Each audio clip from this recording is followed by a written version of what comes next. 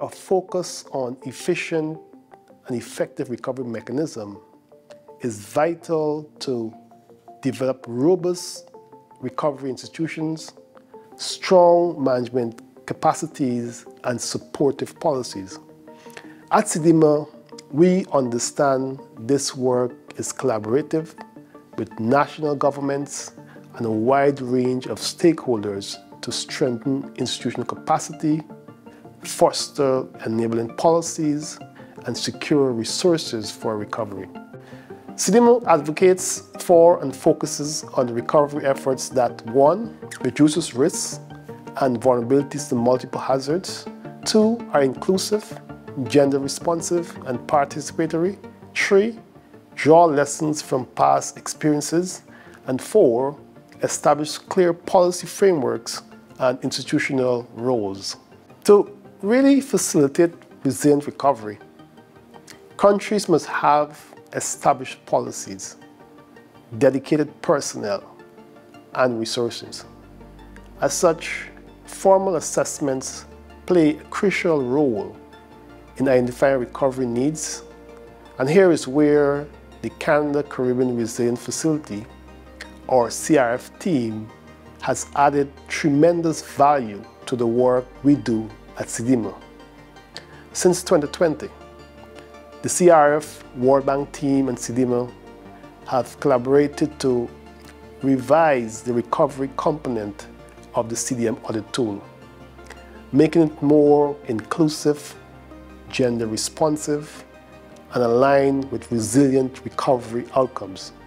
The updated recovery capacity assessment and its complementary sectoral recovery capacity assessment are truly invaluable to the CDM audit process. They generate country-specific results and drill down on key recovery elements, including policies and human resources at the programmatic level. These versatile tools are truly game changers that offer national and sectoral level assessments of recovery capacities. As formal assessments, they pinpoint gaps in recovery planning, identify opportunities for interventions, and inform actionable recovery strategies even before disasters strike. The sectoral recovery capacity assessment, for example, has been applied in six participating states to date. And the findings have contributed to the identification of gaps in recovery planning in priority sectors such as tourism and agriculture and have informed recovery interventions that have been advanced by CDM. As a tool, the sectoral recovery capacity assessment is innovative, inclusive, and easy to apply.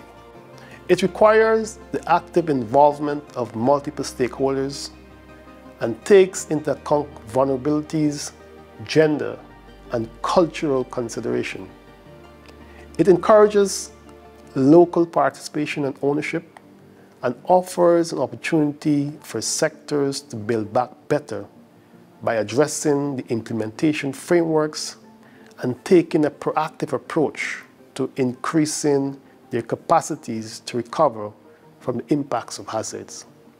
CDEMA is grateful to the CRF World Bank team for the technical assistance provided for the development, application, and revision of the recovery capacity tool.